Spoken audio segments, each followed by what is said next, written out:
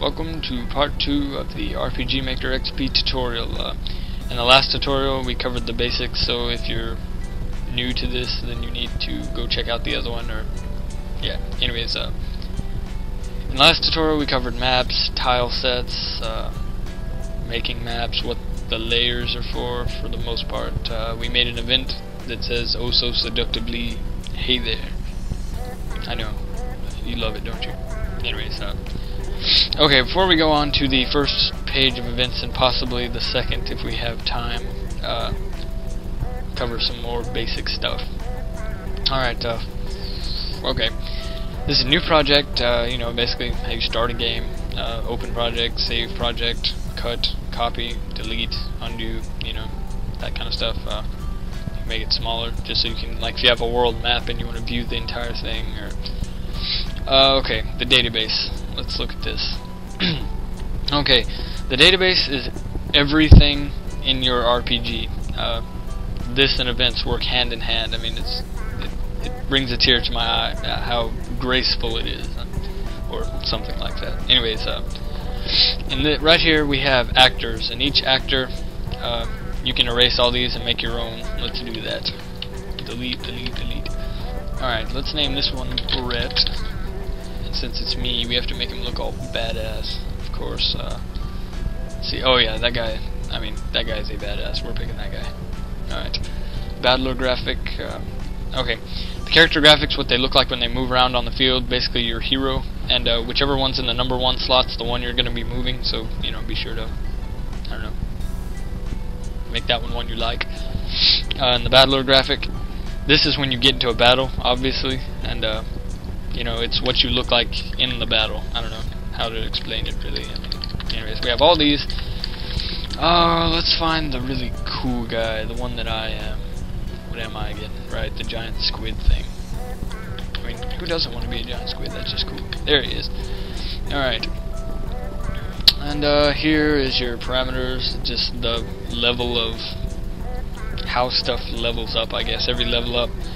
Like, when you're down here, that's like level 1, level 2, level 3, level 4, level 5, all the way up through, you know, 99. It's just your curve, your experience curve, and your stats and everything. Uh, you can change your class, which also you can add more of those, and I'll show you that. Your initial level, the level you stop at, your experience curve, starting equipment, blah, blah, blah, blah. Classes, uh, pretty self-explanatory. You know, you can use ones that I've already made, or you can make your own. Change the max to 9. Let's make this one called Awesome Badass, which is going to be me, of course and uh, the weapons they can use, the armors they can use, the element efficiency, state efficiency, skills that they can learn, and at what level they learn them. Alright, let's go back here and change my guy to awesome badass, because that's what I... Uh, skills, same thing, basically you can change every change everything, attack, agility, power, SP cost, which is your mana basically change your maximum to 81 and you can make your own skills and you can also animate them and stuff like that. Items, weapons, I mean it's all just everything that's going to be in your game. Uh, tile sets, you can upload your own tile sets, common events, system, uh, your window skin graphic, which is your, you know, in your text boxes or whatever, what those look like, your title screen, your game over screen, the music that plays during all those, uh, what's everything's called, G, money, you know, name it whatever, HP, hit points, you know, anyways. And that's the database. Um, up here is the material base, which is like if you want to upload a new song that you want to play during your game, you import, you find it, you know, wherever you want. Like let's pick Quiet Town and it's in your game. Congratulations, now you can use it. Um, for some things like tile sets, when you upload them, you have to go to the database, go to tile set, change maximum 51. You know, you have to upload it, name it, and then give it the graphic that you uploaded. Uh, the material base, yeah, yeah, yeah. Okay, this is basically all that is. Sounds, anything that's going to be in your game. Uh, scripts, I'm not too good with scripts. I don't really mess with them. I'm sure you can use them and make a really awesome game, but I'm just not going to cover that because there's so much to cover and just, you know, you're going to have to look somewhere else for that. Uh, sound test. It's not really a sound test. You can just play your music that you've uploaded. Don't know if you can hear that, but you can play it during your making of your game. Change the pitch, make high, make it low, you know, stuff like that. Background sound, music effects, sound effect, etc., etc. Okay, time. Mm, okay, we're doing alright. okay, now let's see if we can get through this first page of events. Alright, new event. It can this we don't have to give it a graphic because it's not anything. Alright, the first page, show text. That's of course for when you want to make something say something. That's when it has a graphic or you know stuff like that. Or if you want it to like just for example, say you don't want say you don't want to be able to pass this cactus. So we're gonna make an event there that says you can't leave.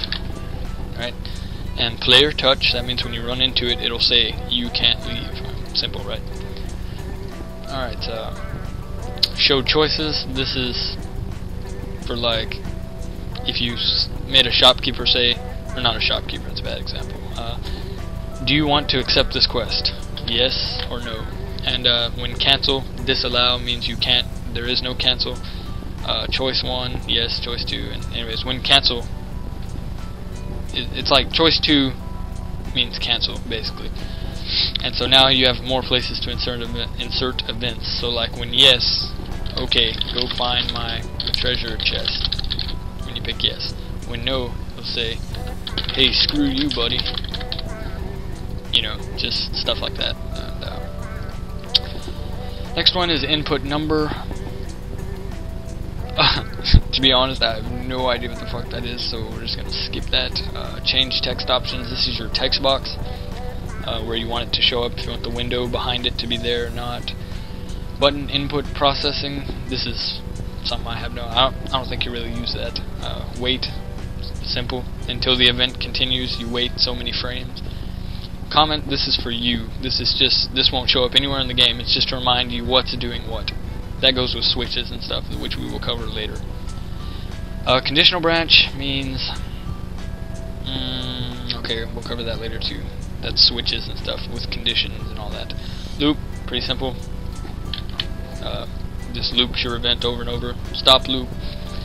Exit event processing, you know, just stop your event, erase your event, call common event, uh, label, jump to label. Uh, control switches, uh, variables, blah blah blah, that's all stuff that we're going to look at later. Control timer, basically a timer for your game, you know, if you're running from someone or have to get somewhere at some certain time. Uh, change your gold if you want to increase it by 6 or decrease it by 6, or, you know, change items, uh, give yourself an item increase by one, you know, woohoo, now we have a seed of agility, congratulations. Change weapons, change armor, change party member, uh, you can add or remove party members, you know. Change window skin, battle BGM, battle, all this change stuff is basically the same stuff.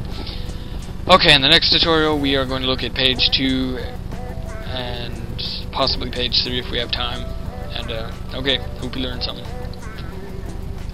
peace, my nickels, or something like that.